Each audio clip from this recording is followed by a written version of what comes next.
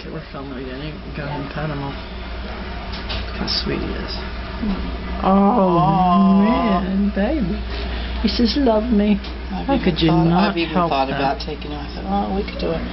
You know, Fred could chase you through the house on three legs. So, how are you still?